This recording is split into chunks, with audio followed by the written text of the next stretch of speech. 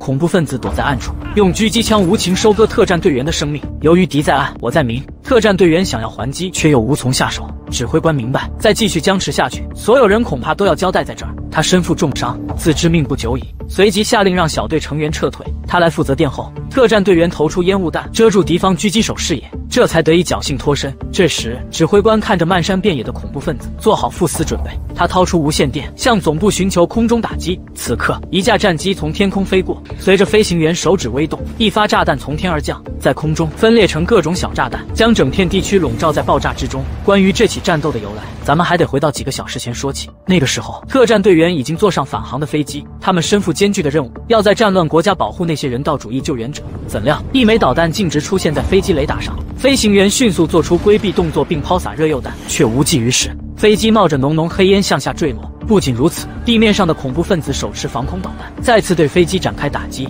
幸运的是，在导弹命中飞机之前，特战队员们带着要保护的人顺利跳伞逃离飞机。恐怖分子头目下令开始围捕飞机上的幸存人员。与此同时，总部也收到飞机坠毁的消息，第一时间启动搜救计划，并派出代号为“螳螂”的飞行员前去支援特战部队。另一边，成功降落的特战小队再一次聚到一起。指挥官雷奇做出行动规划，接下来的目标是寻找武器并拿回黑匣子，因为这是唯一能够证明飞机被导弹袭击的证据。当他们好不容易找到武器箱时，发现对面竟出现一个手持 AK 的孩子。特战队员举起手枪，双方随即展开对峙。就在队员要扣下扳机时，队内的军医突然大喊。他还是个孩子，这让男孩趁机溜走。另一个特战队员抢过手枪，想要干掉男孩。此刻对方早已没有踪迹，他十分气愤，因为留下男孩这一隐患会让所有人的行动彻底暴露。事不宜迟，众人整理好装备，来到坠机地点，准备寻找其余生还者和黑匣子。然而这里早已经被恐怖分子捷足先登。特战队员趴在草丛中匍匐前进，准备打敌人一个措手不及。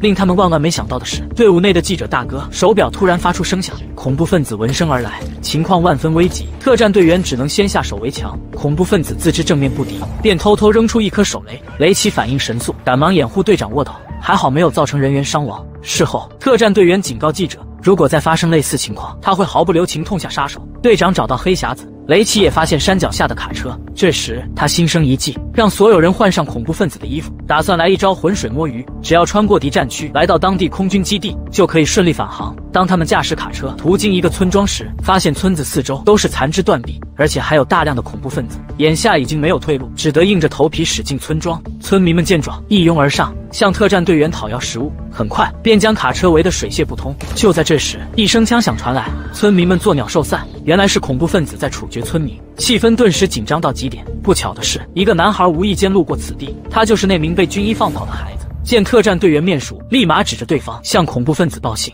队长一脚油门，果断选择逃离现场。此时，恐怖分子也反应过来。对着汽车开始扫射，甚至还有人扛起火箭筒。队长凭借高超的驾驶技术，险之又险，躲过这致命一击。当众人逃出包围圈后，才发现军医已经死在刚才的交火之中。讽刺的是，军医救下的孩子，最终竟然要了他的性命。一股悲伤的情绪笼罩在所有人的心头之上。他们知道，这次的逃命之旅可以说是困难重重。一颗圣母心是不会帮助他们抵达胜利的彼岸的。另一边，恐怖分子大部队也抵达刚才的村落，得知特战小队逃之夭夭，一怒之下血洗村庄，并把那名报信的男孩杀掉泄愤。随即顺着轮胎印继续追踪特战小队。特战小队意识到情况不对，选择弃车而行，来到一处开阔地，发现前方是一片雷区。他们本应该绕开这块危险地带，岂料不远处传来小孩的呼救声。光头队员见状，发疯一样向前方跑去，嘴里不停念叨着：“我的孩子。”光头还没来到小孩身边，就被地雷当场炸翻。明眼人都能看出来，这就是敌人设下的陷阱。那个小孩也根本不是光头的孩子。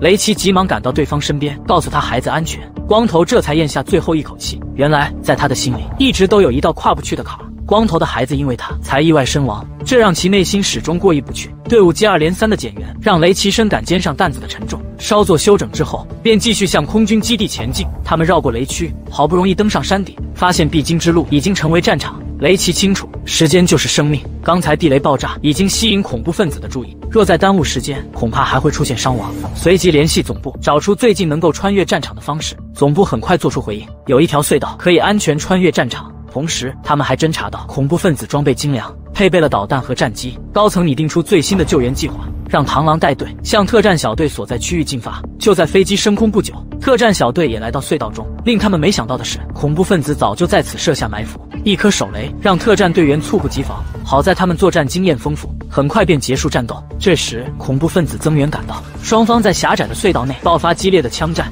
特战队员摆开战斗队形，在隧道两侧交替进攻。可是战术再高，在狭窄的地形很难发挥出全部实力。更何况敌人还有一挺机枪压阵，密集的子弹让特战队员根本抬不起头。情急之下，队长打碎照明设备，在叶世仪的帮助下杀出一条血路。战斗十分惨烈，所有人都展开贴身肉搏。恐怖分子拉开手雷，准备和雷奇同归于尽。好在雷奇及时挣脱束缚，这才保住一条小命。不幸的是，他的大腿被弹片波及，血流不止。好不容易解决掉所有敌人，终于来到空军基地外围，却发现这里已经被恐怖分子占领，他们只能暂且撤退，来到隧道内部进行片刻的休整。雷奇很是自责，他没有想到撤离点会被敌人占领。害得队友白白为此牺牲，整个人陷入消极的状态。队长出言安慰，只要活着就有希望，这才让雷奇心里稍微好受一些。特战队员无意间发现墙壁上刻着一条隐秘的通道，由此众人顺利来到后山。雷奇状态十分不妙，队长接过指挥权，他让其他人去安全区躲避，自己则带着通信员去高地建立通讯。战斗机收到指令，随即对地面上的恐怖分子防空阵地进行降维打击。待解决掉威胁后，直升飞机救援部队开始行动。恐怖分子已经意识到特战小队的动向，更是派出重兵进行围追堵截，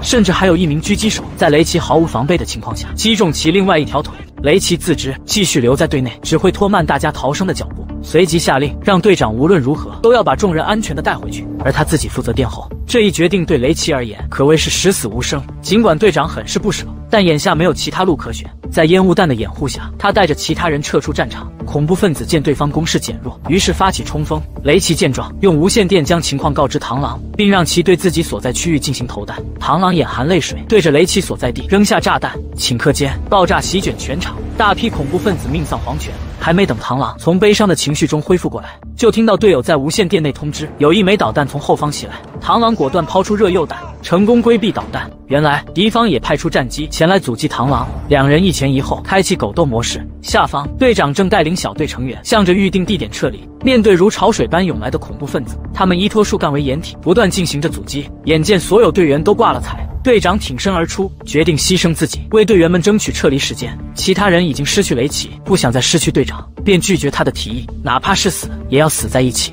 用两颗手雷逼退恐怖分子之后，他们相互搀扶，继续向后方撤退。穿过树林，眼前就是一片空地。恐怖分子穷追不舍，甚至还对几人展开炮击。正当众人陷入绝望之际，两架战机开启超音速模式，突然产生的音爆让恐怖分子纷纷捂住耳朵。救援直升机也在此刻出现，场面局势发生两极反转。恐怖分子见大势已去，于是放弃追杀，向后方撤离。另一边，螳螂拉高机头，将敌人带入高空。无论他做出任何机动动作，始终无法摆脱敌人的追击。看得出来，对方也是一名一流的飞行员。然而，螳螂技高一筹。他在急转之后，又做出普加乔夫眼镜蛇机动，和敌方飞机来个位置互换。螳螂转手为攻，咬住敌方六点，直接就是两发导弹。对方也不是吃素的，在最后时刻也发射出一枚导弹，准备和螳螂同归于尽。螳螂见势不妙，立刻拉高机头，垂直飞行的同时抛射出热诱弹，这才侥幸逃过一劫。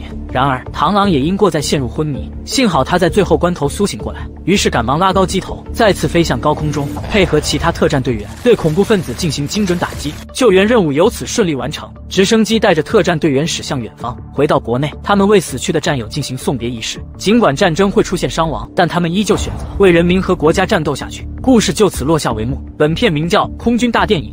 只要活着是马来西亚的一部军事动作片，被号称为马来西亚版的《壮志凌云》。看完整部影片，给我最大的感受就是晕，就如同手持摄像一样，镜头不断晃来晃去，从开头晃到结尾。如果说在战斗场面晃动镜头来增加一种紧张的氛围，那么高层领导在会议室里开会也在晃动镜头，是要形容会议很激烈吗？最后，这部影片要对标《壮志凌云》，在观影时就奔着看飞机来的，直到快结束时才看到一场空战戏，而且全程也就几分钟便草草结束，有种挂羊头卖狗肉的感觉。要说影片的优点，也就是眼镜蛇激动吧。看到这里的小伙伴们，欢迎点赞、评论和收藏，你们的支持才是我们更新的动力。